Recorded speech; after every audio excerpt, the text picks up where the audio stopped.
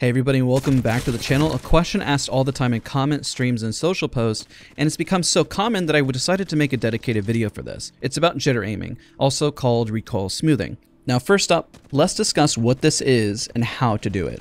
Jitter aiming at its most simplistic form is jiggling or vibrating to outpace the recoil pattern from various loadouts on Apex Legends. The most infamous is the flatline. While having a heavier horizontal recoil, it also has a slower recoil compared to the other loadouts, of course, which makes it much easier to outpace the recoil. This is possible on other loadouts, but you need to be able to beat the recoil speed and also, of course, the rate of fire.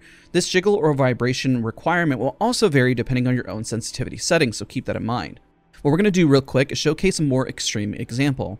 I dropped my sensitivity all the way down to 0.1, which is super low, to highlight the example. Also use a 3 times magnification to also drop to a 0.1 sensitivity. The game likes to round up, so it does do stuff and moves to a 0.2, but in the config file on the back end it says 0.1. This sensitivity is a bit unrealistic, but you can see the movement goal is to outpace the recoil. Let's compare this concept to a controller. We have at one point or another played a game called Mario Party. We don't always just spam the button with your thumb. That leverage makes it hard to create a bounce to press the button over and over. The strategy, of course, was to use your index finger and vibrate or jitter at a faster pace to press the button even faster, to beat the actuation point. And of course, on controllers that had a smoother button rather than a more clicky feel, this was much easier to achieve. Now imagine this concept of moving your arm or wrist at accelerated pace. Think of this concept further if you had perfect aim. You could reset over and over to the center to obtain perfect accuracy. Remember, faster rate of fire, the faster you need to flick or reset to the center. Let's break down the questions. Why do people call this a glitch? It's not a glitch, it's just spamming your button for Mario Party because it's just quote unquote a technique. Because Apex Legends has the same recoil when you aim your gun this mechanic is then for possible.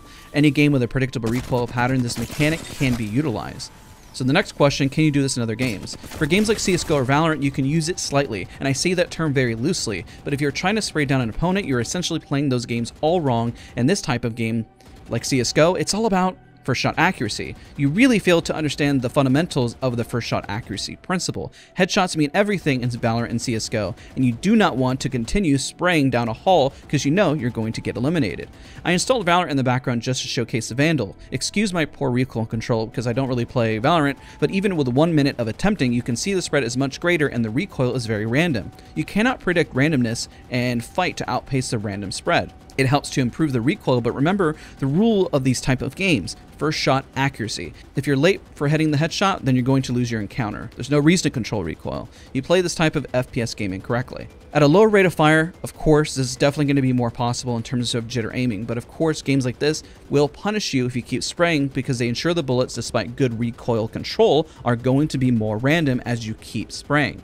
In games like Apex Legends, it's not about your first shot, it's about maintaining your shot. Other loadouts that require precision, while jitter aiming is just not needed, just precision, such as a longbow or a wingman. If Apex Legends had incredibly punishing spread, our movement tech would be rendered useless, ADAD spam would be horrible, and landing shots at distance would be impossible and very frustrating, especially in a battle royale setting. So the next question is, is this a good technique to use? Kind of because it's situational. I recommend the following steps before utilizing jitter aiming. Learn the recoil pattern of the gun. Learning the pattern, just the initial pull is important because it does not change. This means you can predict it and don't need a jitter until after the initial tug or pull of the recoil. Next up, build good aim habits first. Going right into jitter aiming is really bad if you're trying to learn basic mouse control. Speaking from personal experience and other pros within the scene, your goal initially is to have stable aim and remove shakiness, aka panic aiming. Jitter aiming is only going to make this habit much worse. Only use this technique once you have stability within your own aim. That way you don't build bad habits, because once a habit is formed, it's going to be really difficult to break. Is this Good while tracking? Well, one technique is micro flicking and tracking. This is done by mini flicking instead of a smooth track. The best advice overall is to find what works best for you. Ask yourself questions. Does this feel comfortable after long hours of use? If so, then you're good to go. Does this highlight my strengths as an aimer? If not, no problem. Just remember to always find comfort, consistency, and adding a technique that won't impact your aim negatively. I hope you guys all found this video helpful. Don't forget to leave a like, comment, and subscribe, and I'll see you guys all in the next video.